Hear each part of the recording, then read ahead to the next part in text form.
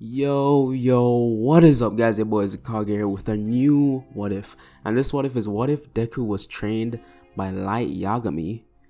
Wait, what? Light Yagami? How is Deku gonna be trained by him? Well, stick around to find out. So, let's get right into the what if.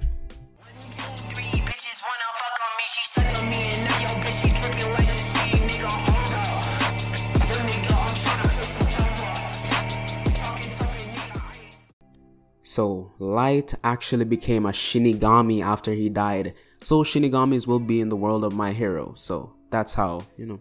So, that's how I'll incorporate him in the story. So, we begin at the Sludge Villain incident. Everything has gone normal up to this point. So, Izuku is walking down the alleyway when he hears the manhole cover like being lifted up. So he turns around to obviously see what's happening and then he turns around to see the slug monster. Sludge, not slug. I mean, he kind of looks like a slug, just saying. But it goes to attack Izuku, but before he can even get close to him, the sludge monster literally just drop dead, drop, drops dead in front of him. And Izuku is confused at what just happened. And as he's trying to figure out what he just saw, a notebook landed right next to him, like falling from the sky.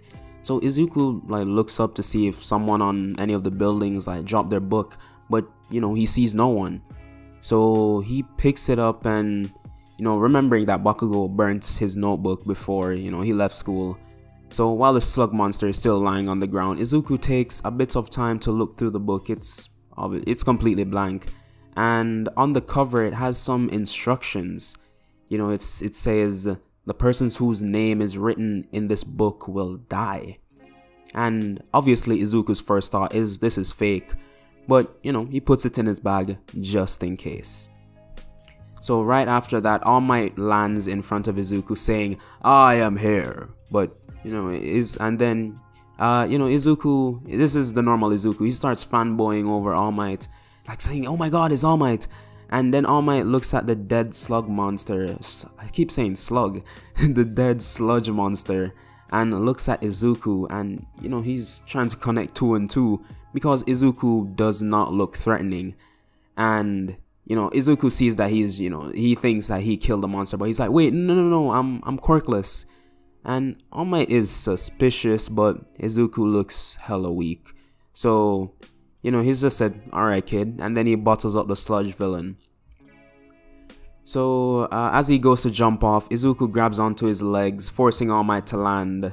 And, you know, when they do land, All Might debuffs, and Izuku is weirded out by, you know, this new form of All Might but All Might explains his injury and uh, stuff like that. So, since the slug villain is dead, slug, there it is again. since the sludge villain is dead, you know, he wouldn't escape or take host take Bakugo hostage. So none of that happens. So after their talk, All Might realizes that Izuku, you know, he's he really wants to be a hero. Like he's really enthusiastic about it. So he tells him like encouraging words. He doesn't just shoot him down like no. So he says, uh, you know, he says like if you really want to be a hero, you have to try your very best. You have to train until you drop. You have to out train everyone. And you know, Izuku, he gets like inspired by this, being up, uplifted. So all my uh you know he leaves he walks down the stairs because he can't jump off the building. He's in his like skinny form. So izuku was left on the roof alone and he begins thinking and then realizes that he had that one notebook left in his bag. So he takes it out and you know he wants to te- test it out. You know maybe it's fake maybe it's not. He just wants to see. So he has to choose someone who isn't really close to him because from the off chance that it is real he doesn't want to be connected to the murder. So he doesn't want to write his mom's name or you know someone close to him basically. So he picks a villain that has been rising through the ranks recently. You know, he's he's new to the whole villain show. So, uh, you know, he's killed more people than any of the top villain organizations like the LOV or uh, the Shie Hassaikai. That's how you say it, right? Yeah. So Izuku realizes that this guy, you know, once he kills him, he'll know almost immediately. His name, Akemi Sato. His quirk is basically Shigaraki's quirk, but he has ultimate control over the over the decay. So he can control uh like how long until they how how long until they decay. And you know, he only has to make contact with one finger.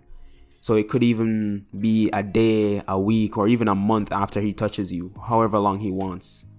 So, you know, that actually sounds like a, a sick what if power. Yeah, I might write that down. Anyways, uh, Izuku, you know, he writes down the name in his book and waits 40 seconds because that's what it says in the rules.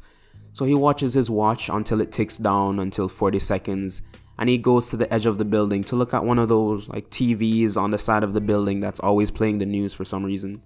So right on the TV it started playing like breaking news, the new villain Akemi Sato was found dead in the streets, you know, from a heart attack. Like dead in the streets of Tokyo. So hearing this, Izuku like backs up in shock off the edge of the building and he's thinking like his hands are shaking like did I just kill someone? So while this is all going through his head, Izuku hears something behind him and you know like he turns around and sees a dark figure flying right above the ground. It was Light, like Light Yagami in his Shinigami form. And Light extends his hand to like shake Izuku, but he starts backing up. And he forgets he's on the edge of the building. And he backs up right off the building. And he like slips off and starts falling. And you know the the building is pretty short so he has like 4 seconds to be turned into a pancake and you know but before the flashbacks could start kicking in like mom i'm sorry i died stuff like that you know uh he stops falling and you know uh it was light who grabbed his leg and pulled him back up to the building. Like says wow am i that ugly as a shinigami? And izuku is like wait are you a god of death and light just nods and you know he explains why he is here and basically the whole reason he's here to toy around with people just like um just like ryuk yeah. So he just came to toy around with the humans you know what's more fun than messing up human lives am i right? So um so you know, light goes. Uh, but instead of what Ryuk was, he said he wasn't with light or against light. But in this, light is gonna be you know working, like working to actually help Izuku out. Unlike Ryuk, like is like light had to blackmail him, bribe him, do all that stuff to even let him do anything. So after, um, so after their talk with uh, Izuku with a light, he accepts that God, uh, God of death are actual thing, you know, because one is right in front of him, and he goes home. So his mom isn't home yet, and in this, Izuku's mom, like Inko, is actually the captain of the investigation branch of the Japanese police force. So she normally gets home late, and Izuku goes into his room. He you know, he like he goes to his desk and he opens up the death note. He's just staring at the blank pages and he's just thinking just the amount of villains he can take down with this power. So Izuku turn, turns on the TV and he was going to write down every single name that came up on the news. And, you know, before he could, Light stops him, saying, First off, kid, I won't make you make any of the mistakes I did. So, first, read all the rules before you start writing names and Izuku was going to say something, but light just disappears through the roof, like flies through his roof. So Izuku just huffs and says, ah, fine, sure, okay. And he starts reading the rules of the Death Note. And if you're interested, the rules are up on screen right now. But yeah, if you watch the anime, you already know what all the rules are and stuff like that. So Izuku goes through them and realizes that he can control people before they die and writing the cause and time of death. Because if you remember, Light got caught because all the criminals died of heart attacks. And like in Japan, barely anybody has a heart problem, you know, because they eat healthy, they eat, they eating good over in Japan. So that was immediately sus. So after reading the rules, Izuku started writing down names, but smarter, writing down the cause of death to be something random, you know, uh, either either heart attacks or I don't know, it's just, something random, whatever you can think of. And writing down uh, a set time for them to die, you know, five villains every day at random times. So, over the course of, uh, and that's over the course of like the 10 month training period. So, this uh you know would buy Izuku some months before they discover anything. So during the first month of the 10 month training period, Light finally returned and he had something for Izuku, a scythe. You know, he has uh, with the scythe Izuku would have complete control over it. So he can make it disappear and reappear whenever and he can make it as dull or sharp as sharp as he wants. So, uh, Light trains Izuku how to use it, basically masters it within three months using some of the trash on Dagobah Beach to, like, as training practice. So, uh, you know, when he was, and when he wasn't training, Izuku was studying. You know, Light has to increase his IQ to get on his level. So, you know, so he can make some big brain plays. So, about four months before UA starts, Izuku was uh, studying and his mom came home. You know, she was really tired and Izuku really hasn't seen her in days. So he asks why. And Inko says, you know, she thinks there's someone with a quirk that can, you know, kill people by just looking at them or something. So that's what she's been investigating. Know, and Izuku is puts on his like plus acting skills. You know, he's uh, damn, I don't know any actors by name. He is Michael B. Jordan, or or yeah, yeah, I think he's an actor, right? So yeah, he's putting on his best act act. He's putting on his best act, and he's like, really, like, is he a villain? And Inko says, no, he's he's actually killing villains, but most of them are imprisoned. So Izuku keeps up his acts and helps his mom to her bedroom, and you know brings her some food afterwards so she can rest up, so she's not having to exert herself. So later on in the light night, Izuku calls for a Light and he explains that the police are they're like they're catching on to him. So Light finally decides to tell Izuku about his previous life. You know, all the mistakes he made and how he lost to that damn L. And Light tells Izuku about a deal. For the low, low price of half his lifespan, he can get the powers of a Shinigami, not just the eyes, but intangibility, flight, and you guys can actually suggest some powers you think Shinigami would have, and I'll give it to Light and then I'll give it to Izuku in the next part. So, wait, maybe in invisibility. Eh, I'll I'll do that in the next part. Tell me in the comments if you want invisibility, and also put down some like um some other like powers you would want to see.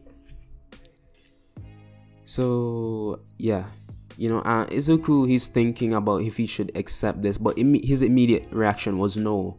But later on, when he goes to his bed that night, he thought about the offer and it would really be useful, especially with the type of powers he has. So, um, for the last few months of the 10 month training period, Izuku clears the trash on Dagobah Beach, getting actually very stronger, not superhuman, but peak human performance. Like Izuku can lift a car off the ground, but not like over his head, basically. So the first day, not the first day of UA, but you know the uh, entrance exams, and that day his mom gets up early. You know she wishes him luck, and then she goes off to the office because you know she has her investigations to do. And Izuku this whole time has been like thinking about the deal yeah like light mentioned to him. So he calls for light and light is just chilling in his attic reading or something i don't know. So he comes down and light is like what do you want? And izuku says you know what? I accept the deal for the shinigami powers and light is like huh yeah gladly but izuku cuts him off before he could get any further he says i'll accept it but on my terms why don't you take the the, the remaining lifespans of the people I'm killing? And Light is like, hmm, okay, kid, you outsmart me this time. Okay, I'll, I'll, I'll accept it. And you know, they shake on it. And then, uh, you know, when Izuku lets go of Light's hand, Light's hand, like after them shaking their hands, he feels power like flowing through his body and wings sprout out of his back. With that izuku starts floating off the ground and and you know instead of being like oh my god like i'm flying izuku is actually pissed you know the the wings literally tore through his shirt. Like how is he gonna hide this from his mom? He can't just get a quirk out of nowhere. But light tells him like he can turn it turn off the powers like on and off so his eyes won't be constantly red and he won't have the wings all the time. You know, kind of think of it like Danny Phantom's powers, you know, switch it on and off whenever. So, uh, Izuku focuses and the wings go back in his body and his eyes turn back to green, just like Ryuk said. So, with his new powers, Izuku is ready to face, you know, the entrance exams. He rushes outside, ready, ready to fly through the air, fly through the buildings, you know, like Superman. And as he gets through the door, he gets hit by a car because his door is his house is right next to the road. But his Shinigami powers kicks in to save the day. His uh his intangibility, you know, the car just went right through him. So Izuku is thinking that was a close one. You know, we probably need to move. Like that's not safe. So yeah, he brushes his off, you know, wipes off the sweat running down his forehead, and he's like, Phew. And he sprouts his wings and flies off to school. So he lands in the courtyard, and everyone's looking at him because you know he just made a grand entrance, and also Izuku has the drip on. You know, boy got full Adidas, the Adidas track pants, you know, the track shirt, the the Yeezys Boost 350 V2 Zebra, you know, for all my sneakerheads. So he's walking, and Izuku has picked up a little bit of Light's personality. You know, his huge ego, and I mean, when you have the power to write someone out of existence, you would feel like you're above everyone else. So while he's walking into UA, Izuku bumps into this girl with pink skin. And yes, my child, this is a Mina ship. I don't see much of them to be honest, so why not? So Mina looks at Izuku and, you know, blushes a bit because she, you know, she bumped into a Chad. Like, come on now. So she starts bowing, saying sorry for being in his way, but Izuku just says it's all good and they start a bit of a conversation while walking into the exam hall. So they get to the basics like each other's names, you know, stuff like that. But they had to split up when they entered the written exam room. So, I mean, what can I say about these written exams? We're talking about Deku's intelligence mixed with light, light Yagami. If you literally search up um smartest anime characters of all time, Light will literally be top three on every list. Bet you a thousand dollars, literally yo, my PayPal, yo, like comment it right now. Like seriously, like I'm down to bet that.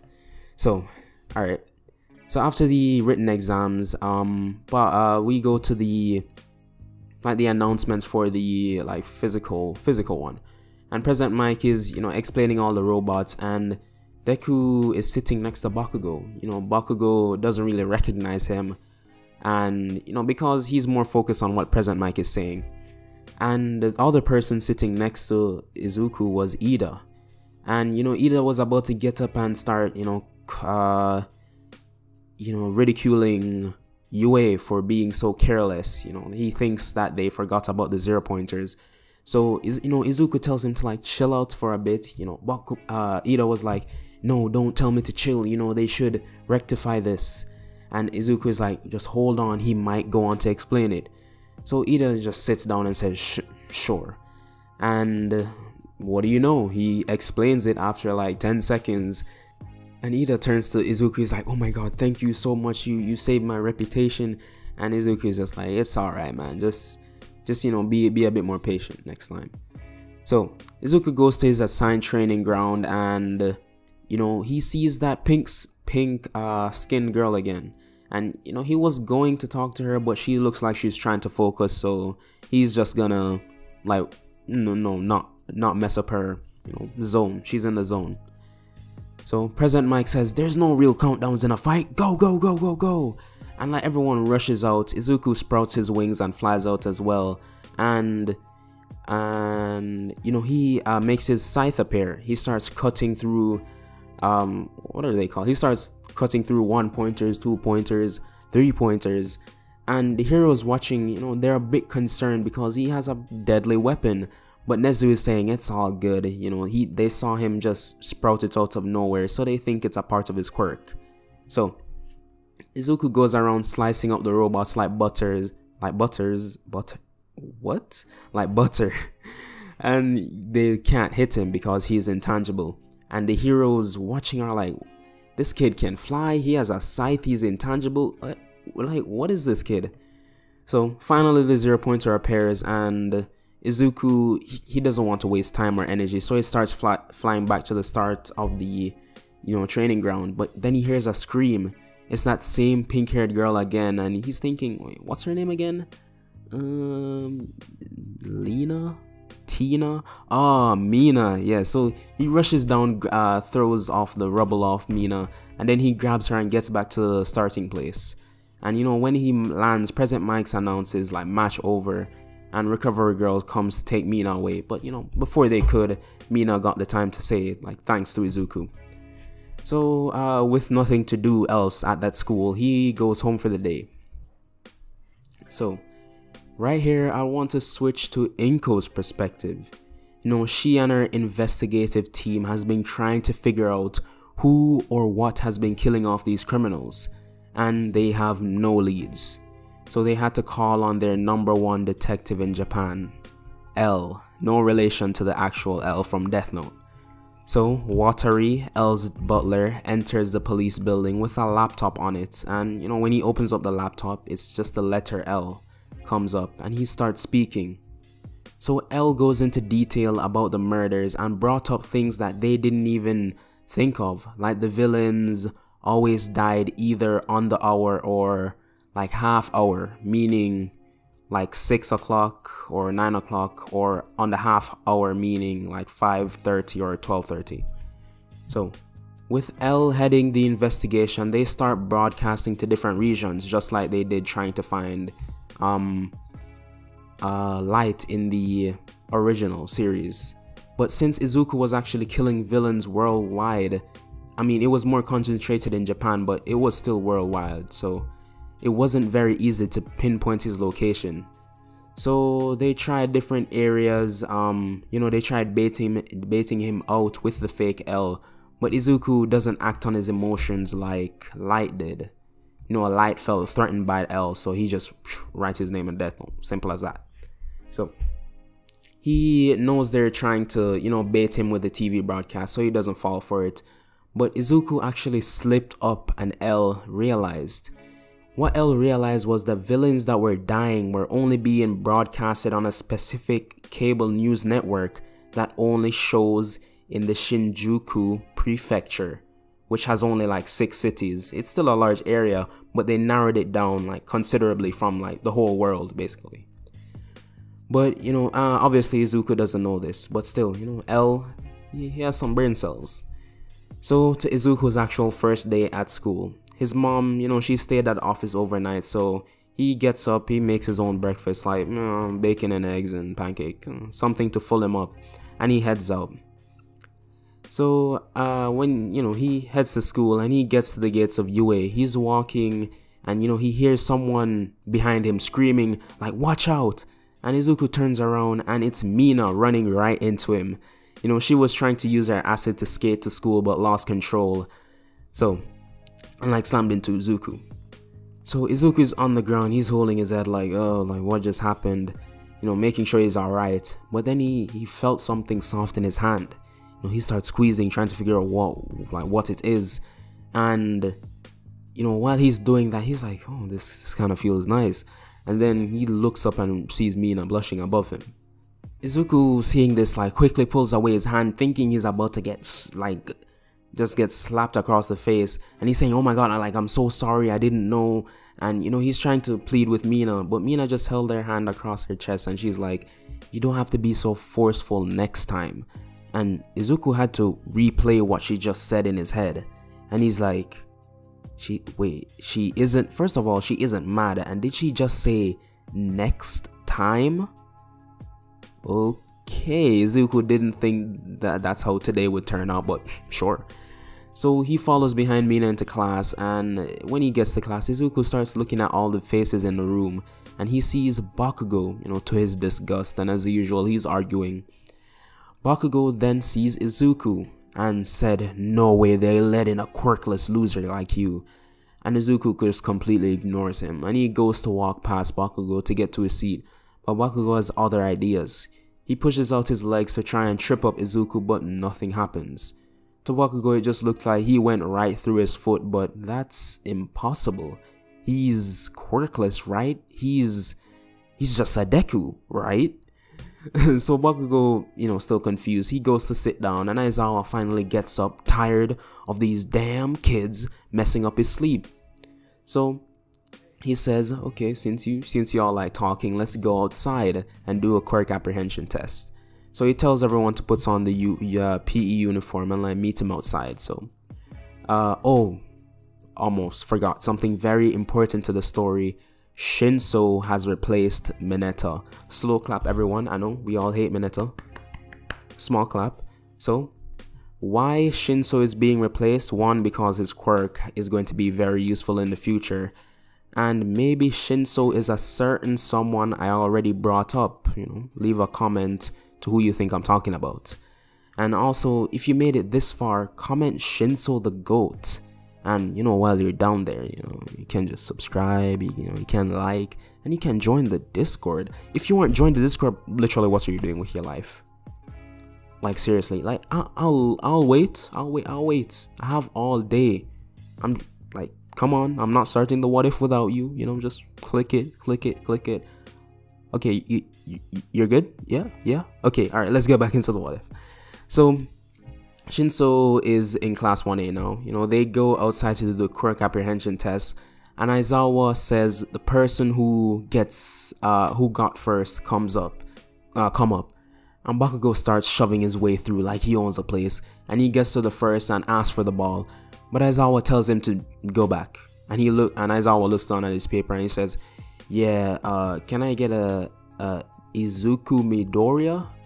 And he's like, yeah, you came first. And Bakugo is frozen like, how, did that quirkless loser? And and Izuku comes up, you know, he's like, get out of my way, Bakugo. And Bakugo like stumbles back. He's shocked like how he's being treated. And uh, Izuku goes to throw the ball. You know, with his base strength plus his uh, Shinigami powers, he added a little strength, so you know, not too much. But yeah, so he throws the ball. He gets a good 450 meters. You know, not stronger than Bakugo, but still.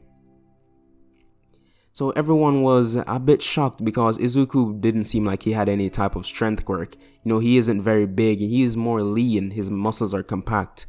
So Izuku doesn't look uh like muscular, like with his like uniform on. So Izuku goes back to the students and Bakugo is angry. First he pushes him and now he like dare challenge his strength.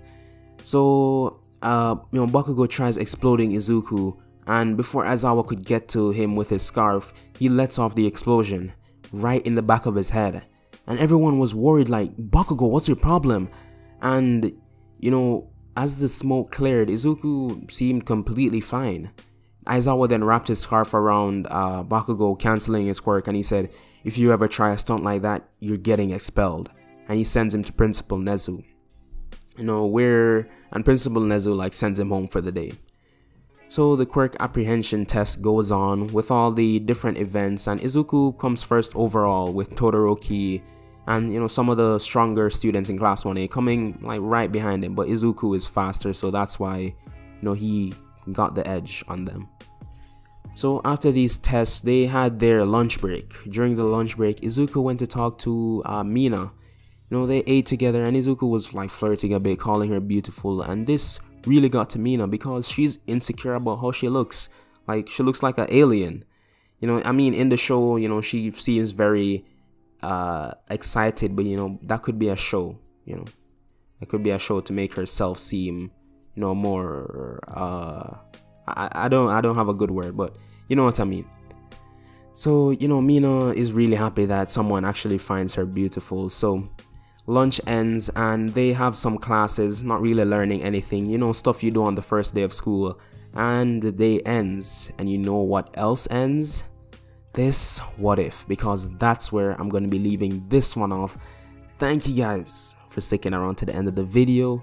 If you liked it, like, if you like my content in general, subscribe. And yeah, I'll see you guys in the next the next, the next, the next, the next. What if?